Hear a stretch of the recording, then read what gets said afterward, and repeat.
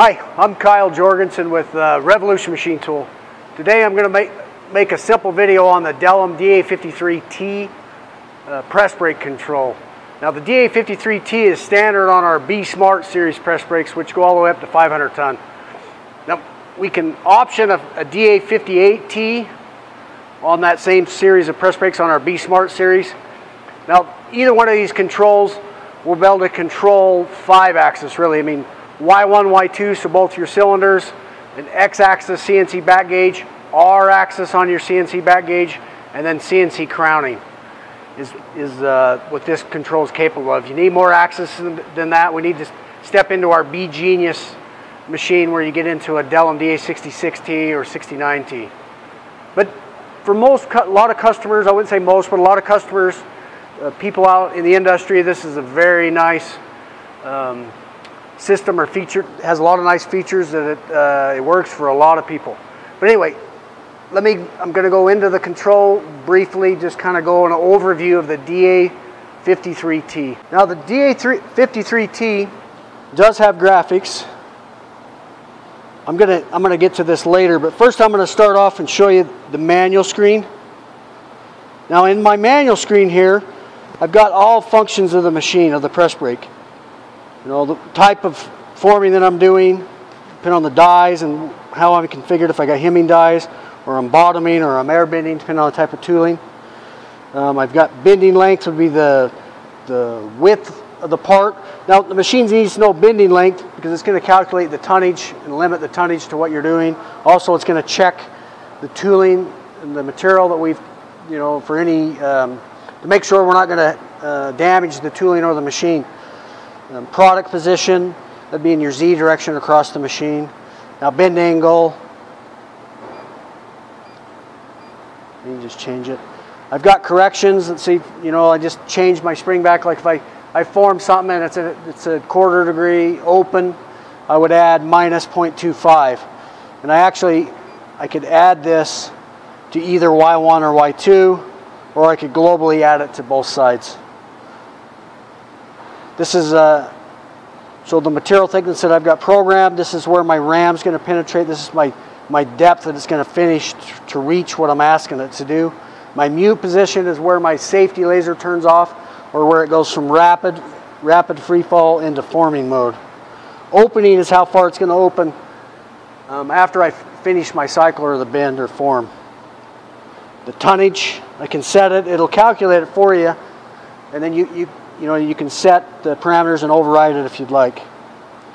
Dwell time at the bottom, say I've got a big panel or, you know, some really, you know, special material, I can set my uh, dwell times. Decompression at the bottom, so I can, it's like, you know, instead of letting a pair of vice grips go, I can slowly let off the pressure. I mean, even though it could be within a half second, but I, I bleed it off, depending on the type of parts that I'm doing. Again, you can just program it. Now speed,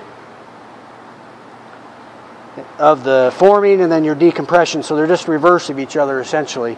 I've got forming speed and then I've got decompression speed back up the other way. Um, wait for retract depending on what I'm doing. Um, stop at mute, and I can program all this, see. Very simple, simple.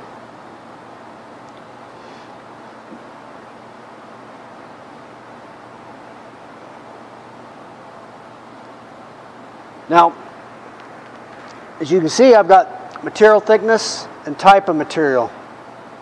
So I'm going to build a material library to match the type of work I'm doing, and I'll show you in a second how to do that. And obviously the material thickness. Now you notice everything in the screen right now is in inch. If I go to machine, excuse me, settings, I can toggle between inch and metric. I can also, on this control, change the language. So we got Brazilian, Chinese, Czech, Danish. I mean, there's a lot of controls in, or different languages that the control can be changed to, depending on your operators. I mean, in Spanish, again, we have it on English, obviously. A couple other just different settings that you can change globally. Uh, materials. Now, here I can build a material library, you know, say I've got certain types of stainlesses and aluminums, and I mean, you get the idea. Different types of steel, they all have different spring back different tonnages they require to form. And you build, you build a library of the type of materials you're going to be forming with the machine and pull it in when you're forming it. Now I can go to products. Now I can have a product library here. I mean, I've never seen anybody max it out. It's a hundred plus programs you can put in here. You can sort them and you know search your directory. I'm going to go in and make a, a new product here. Also, I could make a new program. A new program is an NC program. A new product is a graphical program. I'm going to draw the particular part. But I'll go into new product. I'm going to give it a product ID, which a name, whatever I want to call it. Let's say I'm going to call this, I mean, doesn't really matter. Then a product description, I mean, just however you keep track of your programs, your products. Thickness of the particular part, I mean, I can change it.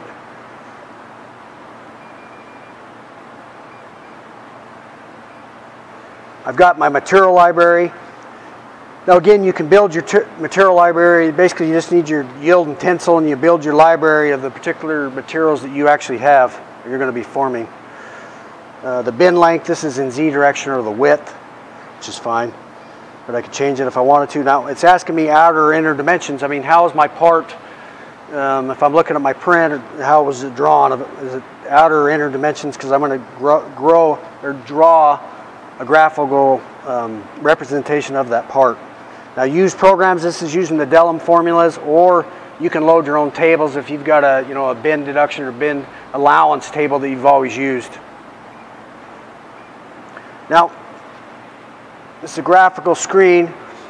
It's kind of hard to do this because I'm clear to the side of the control. If I was in front of it, it'd be easier, but let's say I just got a straight line there and I want to go eight inches. See, I'm here, but if I want, you know, just to come up, and like say it's asking me the angle of that, which is fine if I want a 90. And I can go back to the line, change the line. And I can also grab it, change the angle of the part. Let's say that was my part. I mean, it doesn't really matter, but you get the idea. You're able to draw your part. Now, I've got a tooling library, and I can go in and select my punch and dies. I'll get into that in a minute in your tooling library, but this particular machine's got a little four-way and just a simple gooseneck American punch on the top. And, you know, it shows quite a bit of stuff about that tool so you can see if you're grabbing or the right tool's pulled in. Change our punch if we got another punch, that kind of thing. Um, if I go to bend sequence, it's going to form the part. I mean, you know, you can see if you got any collision with the particular tooling that you've pulled in uh, that kind of thing. And if I go to my program, oops, you notice I'm just kind of working down these buttons. If I go to my program, everything to do with that program that I'm making, this Kyle 45, is all here. So if I want to change my back gauge or my open height, anything to do with that, or is all there so I can see it and edit it. If I go to auto, I can just I can run. Now here in auto, I've got, again, all bins, I can view it. I can go to main. If I've got any corrections on my, let's say, you know, I can put a Y1 correction if I'm off half, half degree because of the spring back of the material. I can, you know, add a half degree on that particular material easily and keep forming those parts. But uh, fairly simple. I mean, really simple. And that's, that's the auto screen. Now, if I wanted to go back, like if I'm Okay, let me go into my material or uh, tooling library. See, I've got machine under machine. I've got punches, so I can program different punches depending on what I have. My library. I can have 30 punches, 30 dies.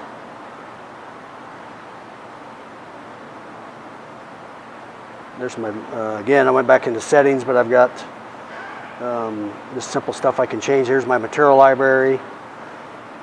Um, bend allowance table, if I want to change it, that kind of thing, simple stuff. And you can lock all this too.